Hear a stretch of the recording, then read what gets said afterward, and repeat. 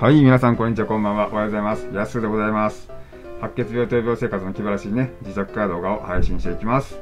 でこの動画でね、僕みたいに白血病がになってしまったたくさんの患者さん、そしてそのご家族、お友達が元気になってまいりますように頑張っていきます。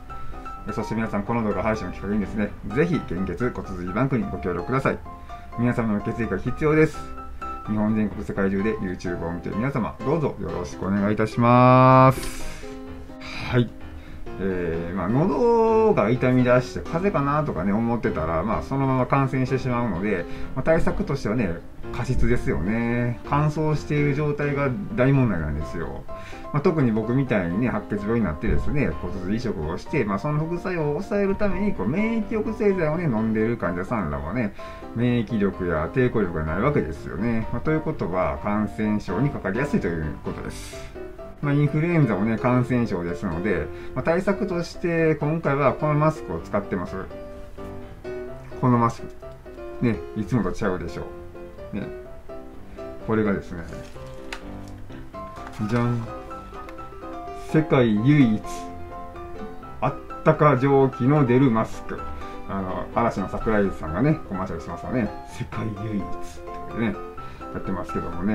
えー、っとですね、喉鼻にあったか蒸気、マスクと一体になったあったか蒸気シートを採用。マスク内がじんわり潤います。素晴らしい。開封するだけで温まる。手軽に使えて簡単便利。書いてますね。約40度。蒸気浴。快適温度約40度、えー、お風呂のような快適温度が15分続きます。えー、呼吸が楽な立体形状耳への負担を和らげる即座な耳かけ、ね、あすごい。イメージ図ではねこれ定規がこうやって出てますけどね。しっかり書いてますね。イメージ図、えー、定規は目に見えません。そりゃそうやろ。うね。感じなんですけども。ね前にはこれ見えるかな。えー、呼吸が楽な通気性マスク、うん、確かに呼吸が楽ですね。ウイルス、飛沫、えー、ガードフィルター、えー、これね、風邪、咳の飛沫が気になるときにはおすすめ。えー、マスクは感染侵入を完全に防ぐものではありません。うん。あ、あここに書いてあるな。えー、蒸気は目に見えません。あ医療機関、医療機器ではありませんとね、書いてますね。まあ、完全にね、この感染とか侵入を防ぐものではありませんと書いてますのでね、まあ、医療機器ではありませんと。えー、使い方。1袋からマスクを取り出す、ね、こういう袋が入ってるんですけどね。ここのね切り口をこうこうピリピリピリってこう破ったものがこちらですね。しっかりこう切って、えー、中からもう取り出したらもうこれがこうパタンと折りたたまった状態で入ってたんですよ。で、これを開けて開けてつけたら、じんわり暖かくなってきて、今までやっと5分かからん3分ぐらいかな。もうほんまにこの氷のスイッチをピッと押した、押す前につけたんですけど、まあまあ今あったかいです。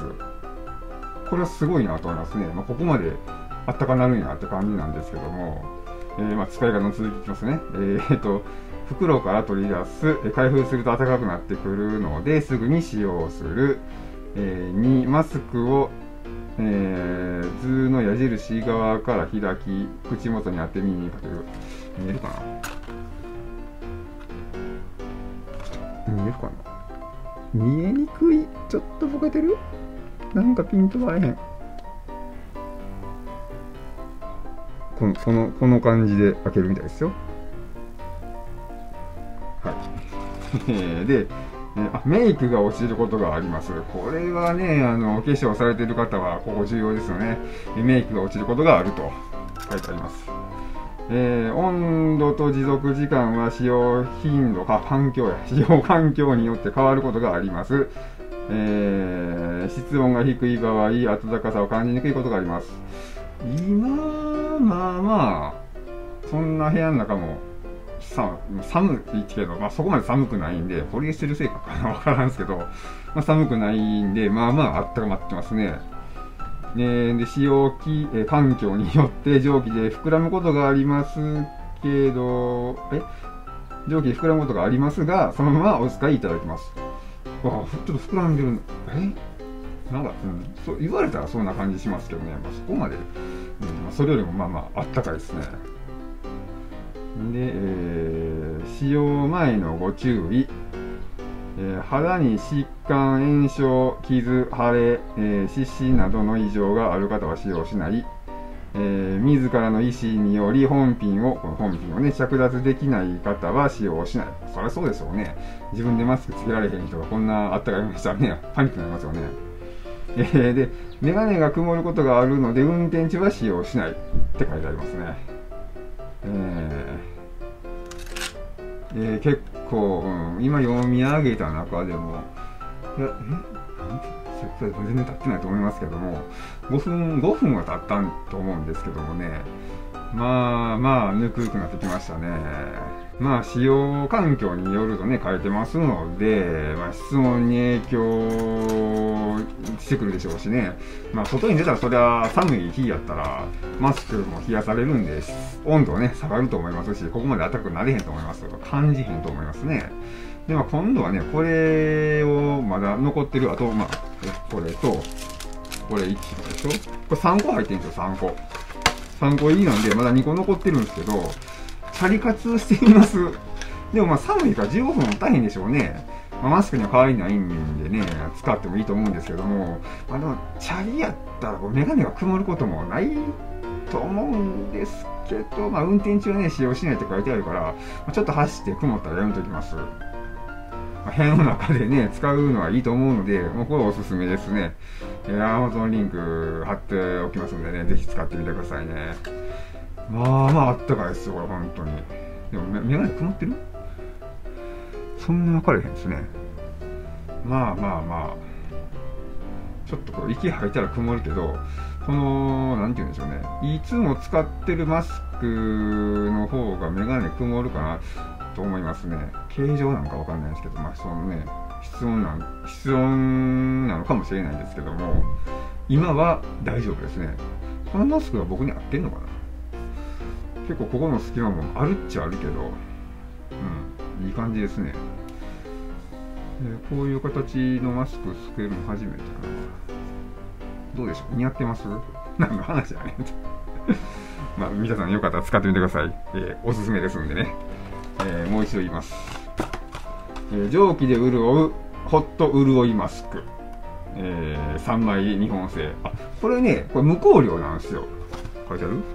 ここここにね、無香料と、うーんと、無香料って書いてあるんですけども、ラベンダーと、あとなんかレモンやったかななんかこう、ハニー？どうやろうな。ラベンダーはあったんですけども、えー、3種類匂いがあるらしくて、この匂いは、これ無香料なんですけど、無香料とラベンダーとあともう一個あるらしくて、えー、まあ、調べてもらったら分かると思うんですけども、あの、僕はまあ、一応、まず一発目なんで、初めて使うんで、この、無香料を、えー、選びました。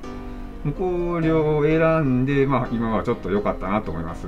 これでちょっとね、あの、香水のような、なんか、お香のような、えー、フレグランスのようなと言いますかね、えー、匂いがあったら、ちょっと、あの、酔う人もいてるんかもしれませんね。あったかくなってきて、まあ、ね、さらにこう、いい香りがしたら、あ、リラックスするぜっていう方もいてると思いますけども、まあ、慣れてからかなと思いますね。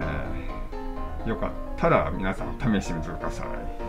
まあ、あの、お店によっちゃと思うんですけど、これ、何やったかな ?497 円。まあ、500円以内で買えるんで、3つついてるんでね、こう、温めることができるものなんで、めっちゃなんか、ほんまに、なんか書いてあるからかもしれないんですけど、もう冗談抜きで、その、ネタとかじゃなくてね、もうほんまにホッとします。なんか、安心しますね。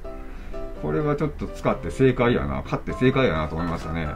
で、なんか知らんけど、ちょっと腕も汗ばんできたって感じがしますね。寒くないですね。ちょっと脱ぎたくなってくるぐらいですね。もう蒸気ってすごいなと思いました。はい。まあ、今日はそんな感じでございます。えー、最後まで見ていただきましてありがとうございました。この動画がいいと思いましたら、グッドボタンとチャンネル登録をよろしくお願いします。えー、そしてね、この動画、このチャンネルがよりたくさんの方々に届きますことを願っております。本日もご視聴ありがとうございました。バイバイ。僕は元気です。